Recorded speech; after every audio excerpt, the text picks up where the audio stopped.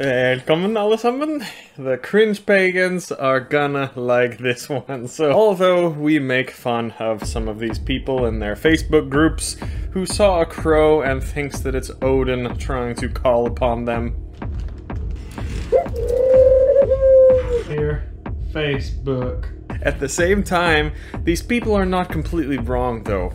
Connection and communication with birds have been an important part of the Norse spirituality, uh, but it happened at very specific times for very specific uh, reasons uh, to very specific people, okay? So in this video we're going over what the actual sources say uh, about bird speech and the Norse beliefs and even some very cool things that uh, us modern people can bring into our spirituality to help with this if they want to.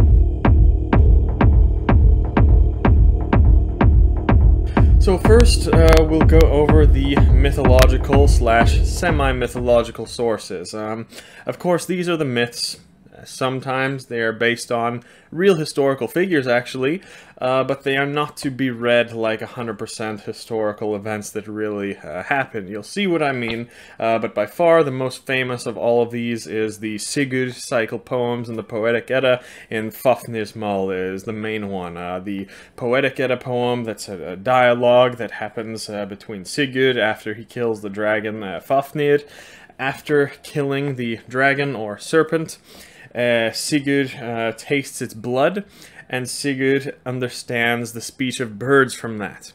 And the birds nearby, there were seven birds, and the seven birds are telling him, warning him of Regin's betrayal. He was sitting right there next to him. Regin was planning on killing Sigurd, taking the treasure, and taking the Valkyrie uh, Brynhildr. Uh, so the birds advise Sigurd uh, to take the treasure for himself, kill uh, and they tell him the way to get to the Valkyrie. This is the most famous uh, attestation of bird speech in the Norse text, and it's also in uh, Völsunga Saga, but it's portrayed there pretty much exactly the same, except it's six birds instead of seven. Uh, this is the key one. Of course, it's a fairy tale, but remember Remember this aspect of drinking the dragon or serpent's blood and then being able to hear the bird speech after this, because I'm gonna come back to that uh, in the last part of the video. Next, um, there's another story in this same kind of cycle of poems. Uh, this one is called Gudrunarkvida. Um, Gudrun gets the ability to understand the birds, but here it doesn't mention that she drinks the blood. Instead, she just uh, comes into possession of uh, Fafnir's heart, uh, which Sigurd uh, had. Another one, also in the Poetic Edda, the poem Rigsthula. It's a poem about the god Heimdall uh, under the name of Rig in this source, and it tells us how he basically went out and created the three uh, classes, the three social classes of people. It's Thrall, Karl and Jarl, uh, which are basically slaves, freemen, and chieftains or nobles. And it says how basically he made, uh, he created those different classes of people based on the parents and how they treated him when he was a guest and uh, their hospitality. And he basically blessed the uh, Jarl uh, social class, the, the children there with the uh, special abilities. And, and once in history, we fast forward a few generations, it is eventually the kings who are the, uh, sons of the Jarls, who are able to understand the speech of birds. So in this source, it's even suggesting that all kings or maybe royalty have this ability, as it suggests in other sources too. Uh, this source, uh, the king's name is actually Konr um, in this poem, and he has great abilities granted by Rig Heimdall, and he was living his best life, enjoying his riches, enjoying all the luck and honor that came to him, until one day he comes across a crow and the crow talks to him, and the crow reminds him that he should not get too comfortable. He should basically go to battle and acquire glory. Because guess what? There are two other kings over here. They are just as gifted as you, but they have been fighting this whole time, and they have more honor and glory than Konr does. This is one of my favorite poems because it reminds you to be hospitable, first of all, because you never know uh, who is going to be your guest. It could be Heimdall trying to grant you with some uh, blessings. And also, it doesn't matter how successful and great you become, never let yourself turn into a puss and not want to fight, okay? I think that's some great ancient knowledge that our modern leaders can take some wisdom from. But yeah, this text, uh, this poem is actually incomplete and we don't know much more in the story than that, but it's just another example of being able to understand birds. Another one comes in Helga Kvida Jorvarssonar uh, here. Atli is the one who can understand birds. It's basically King Jorvaidr. Um, he makes a vow to marry the most beautiful woman in the world, even though he already has four wives that are very beautiful. So he sends his messenger Atli and some of his men over to a woman called Sigurlin, a princess who was apparently the most beautiful woman in the world. Atli's men on the way there, they were all arguing about uh, who, who is the most beautiful woman on the planet, and they all think it's one of Hjörvar uh, four wives, and one of them is already hottest and he doesn't need another wife. But a bird overhears them arguing, and the bird speaks to Atli, and he says, No, Sigurlin is in fact the hottest woman in the world, and Atli was actually the only one who could understand the bird, uh, not the other men. And Atli was not a king, uh, but he was a jarl, he was a noble, so he wasn't still in that highest class of humans. And in this source, the bird actually uh, demands a sacrifice in return for the wisdom he gave. And this is just one of the reasons uh, why in the Norse uh, beliefs and practices, why we make sacrifices that are intended for the birds to take, uh, the Norse blots. It's not that we're worshipping the birds, but the birds can be believed to be possessed by higher beings or even ancestors or gods. Uh, for example, in Skaldskaparmal in the Prose Edda, the myth of the mead of poetry, Odin transforms into an eagle. Uh, in Ynglinga Saga, it says that Odin has the ability to change into a bird, but also a snake or a fish.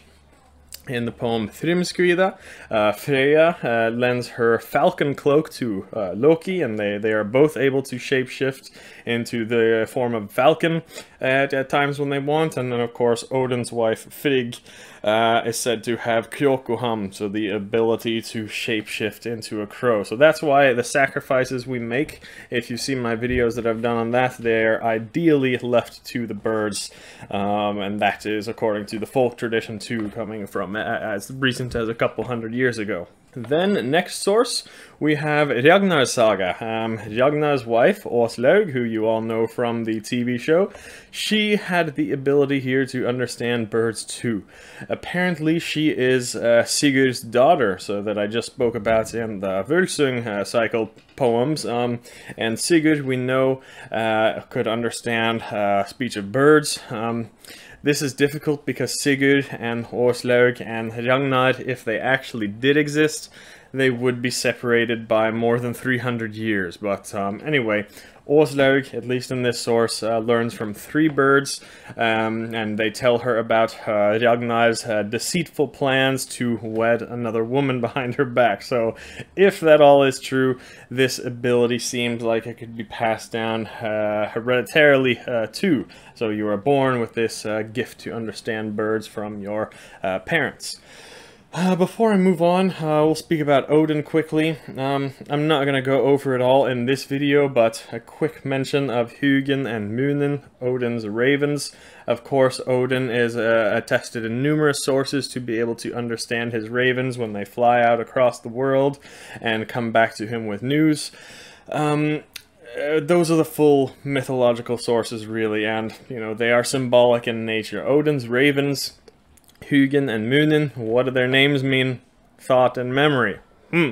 So what might they be symbolic of? Okay, that's a very easy one there. Of course, they symbolize thought and memory. So I'll have to do a whole video on Odin and his ravens to show the understanding and, and the possible interpretation between, uh, behind those attestations. But So I left that out of the video just uh, so you know. I'll cover that another time. But now we're going to go on to the real sagas. Um, now these are the sources that are generally believed to be the most accurate. They're unreliable for sure, um, with over exaggerations and even flat out lies, but the general history of uh, these sagas have been proven to be uh, of real historical events that happened. First is in Ynglinga Saga, the first section of Heimskringla. Tells of a king named Dagr who understands the language of birds, and uh, that was a very wise king because of this. He had a pet sparrow that would fly over vast lands and bring back wisdom to to King Dagr. Uh, sounds very familiar to Odin and his ravens uh, in this source. We also have um, the poem from the uh, saga Fagrskinna. It's a skaldic poem about the legendary Harald Fairhair, and it's a poem basically, uh, it's a conversation between a Valkyrie and a raven. The Valkyrie is asking the Raven about Harald Fairhair, and the Raven is basically answering questions and telling her about his deeds. So don't I won't go into the whole in a poem in detail. Just want to mention that the Valkyrie here is listed um, uh, because she understands the Raven. It is because she's so wise and, and knowledgeable about that. So it does seem that um, it gives the idea that not everyone, or not even every Valkyrie, had this uh, ability to understand the bird speech. Uh, the Valkyries you know, uh, they may not even be spiritual entities, actually. They might have been real women uh, sometimes. See my video I did on that here. Another source is in Gesta Danorum. Uh, there's a woman named Kraka, and she serves her son and stepson some dinner. Their names were Regnerius and Ericus, of course, Latinized versions of the name uh, Ragnar and Eric, uh, probably. Uh, there was a stew she served, and there were three snakes that she added to it. Um, they were hanging from above the pot and their saliva basically dripping down into the uh, stew to make the liquid. Uh, Ericus is the one who eats this and he gains the ability to understand animals. It doesn't mention birds specifically here, but I thought I'd include that. Another source is Morkinskinna. Um, it's kinda, it is about King Olav III and his men's encounter with a man named Kroko Karl. So King Olav sends his men out, uh, out into the country and they come across a man named Kroko who can understand the birds. Uh, his name basically means crow, uh, crow earl or crow like nobleman, crow Karl. They brought this news back to King Olaf, and he did not believe this at all. He just did not believe it. But one day, he was sailing by this Kroko Karl, this man's house, and he wanted to test it out. He wanted to find out if it was true. So he had his men go ask the old man, invite him out to the ship. I want to meet him, bring him out. Like, bring him out in a friendly way. And in secret, he would tell his men to uh, basically kill uh, Karl's horse while he was out at uh, on the ship with them. So they all get out to the ship. They start rowing until three crows come along and they start calling out to the old man, and they tell him that the king's men are killing his horse. And King Olav was in shock at first, um, but he did believe it at the end of the day, and he ended up compensating the old man who understood the birds. So this is the late Viking Age, and here it even seems like, and this was a Christian king, by the way, so it seems like the idea and belief that someone could understand the birds that was disappearing, uh, whereas it was a much more common thing in the early Viking Age and, of course, the pre-Viking Age. That brings us to our next source, uh, Tacitus Germania. Um, another source that is basically a, a Roman historian writing about the Germanic tribes, writing about how they got sounds and signs uh, from the flight of birds. Also, you will see here that they had a custom of using horses for some sort of divination and religious practice. It goes into a lot more detail about horses here, but that's probably because the horses would be a bit out of the ordinary for a Roman seeing this thing, whereas the Romans and the Greeks, they already had a tradition of using bird signs, um, so that would have been not that different uh, to, from the Germanic people, so they felt a more need to uh, write about the horse type of divination spiritual practices, but I'm sure they had just as developed and complicated of a uh, culture around bird signs too.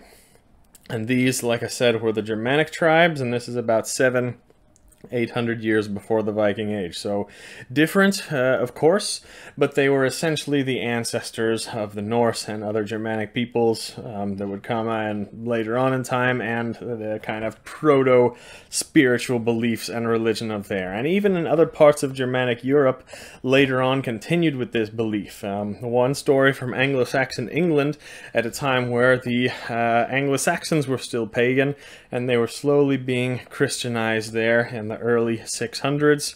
The pagan king Edwin, who had recently become officially Christian at least, he was on his way to a battle and he saw a crow on the fence squawking and he stopped and he made the whole army stopped and, and said that they should wait and try and listen to see what the bird was saying. Uh, Bishop Paulinus of York was with them. He was kind of like the Christianizer and guide of this king, and he didn't like it because he thought it was too pagan of a thing for the newly uh, Christian Saxons there to be doing. So the priest threw a rock at it, threw a rock at the bird, and he killed it. Uh, the Saxons lost the battle, by the way, so maybe the bird was trying to warn them. And yeah, this is just one of the many examples of bird speech and signs in the other Germanic sources around Europe. So yeah, this is not just a Germanic uh, tradition either, even though we might find those records a bit more in the Middle Ages of this happening, but we find myths about bird speech from all over, and probably the oldest and the most common in the Greek mythology, where there are numerous examples of gods giving a real human the gift to understand the bird speech.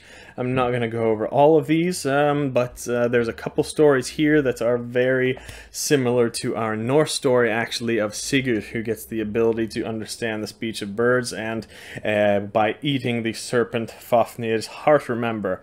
In uh, one Greek source, it mentions the seer uh, named Melampus. He was granted the ability to understand the speech of birds and other animals uh, when he was honoring two snakes um, uh, that were killed by his servants by burning their bodies, and he raised the snake's offspring, and he got that ability when the baby snakes were licking his ears. In another source, there was a Trojan uh, prophetess named Cassandra, uh, supposedly acquired the gift of prophecy as a child when she was left out with her brother uh, in the temple of Apollo Apollo.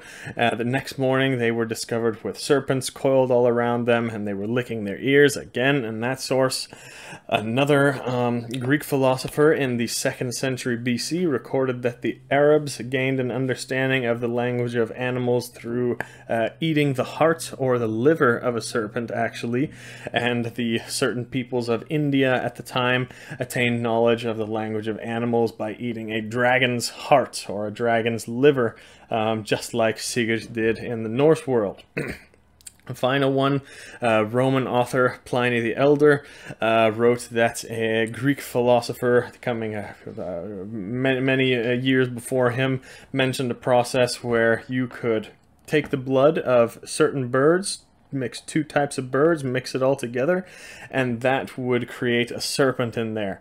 And the one who eats this gets the ability to understand the language of birds. So there you go all over the Indo-European tradition, really, from more than a thousand years before the Viking Age, and there was a belief somehow of eating a part of a serpent would grant you the ability to understand birds or animals. These these ones that I went over are actually, by the way, considered very reliable uh, historical sources. They're not semi-mythological like, like the Norse ones I went over, but still you can see the similarities of course, they're questionable. Are they true or not? We don't know, but at least the source is thought to be uh, historical. To finish this and show you just how long this belief lasted, um, and even some more tips if you want to you know, try and understand these things yourself, we can go over the folk tradition uh, in the sources in Scandinavia. And these are from as little as one to 200 years ago. Uh, first one in Jon Arnason's um, Icelandic folk tales and legends. There were uh, some actual men in Iceland, usually um, churchly figures that were documented to have understood bird language. Here's a list of a few of them, uh, mostly uh, priests. Uh, one folk tale that we can find in Scandinavian folk belief and legend tells that you could boil a white snake, and by drinking the water, you would get three gifts. The first gift is wisdom. The second gift is um, like second sight, they call it.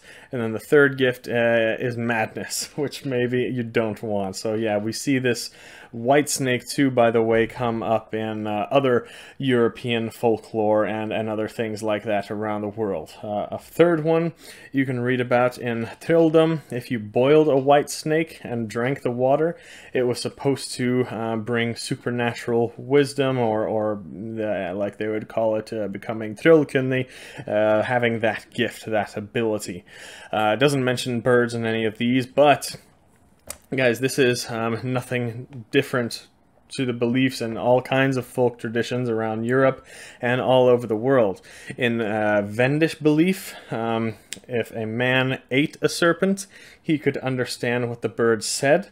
And in a uh, Syrian story from the Middle East, actually, um, if you drank the uh, serpent water uh, that, that, it was boiled in, it enabled a person to understand the language of serpents and birds.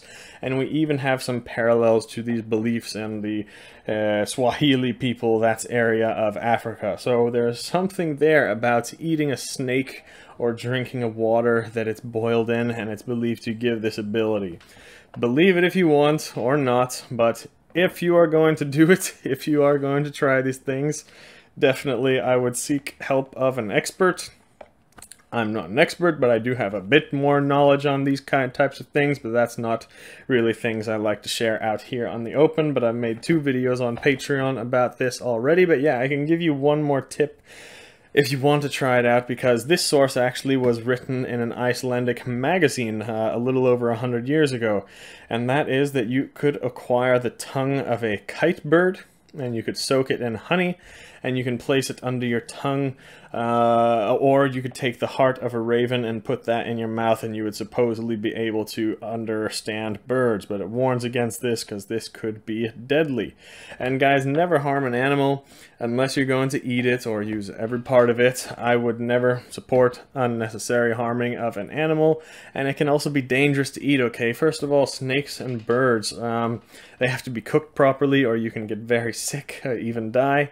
And second, if you pick the wrong one and you kill it and you cook it, there can be some very dire spiritual uh, consequences to that also, okay? There's a reason that humans have evolved over the thousands of years to be able to eat red meat raw but birds or reptiles, uh, humans never evolved that ability to eat raw. We can get very sick. We always have uh, gotten very sick from eating uh, birds or reptiles that meat. It's because those creatures are believed to be sometimes inhabited by certain other higher entities, spirits, ancestors, and even gods, as the Norse sources have shown. So just disclaimer there, uh, but that's all I have to say, the sources, and some extra little bonus info. But yeah, let us know if you guys have anything else, any similar beliefs from other places in the world. Uh, we would love to hear, that's why I make these videos, so we can all compare beliefs and really uncover the lost beliefs of our ancestors. So that's all for today, thank you for watching, vi ses.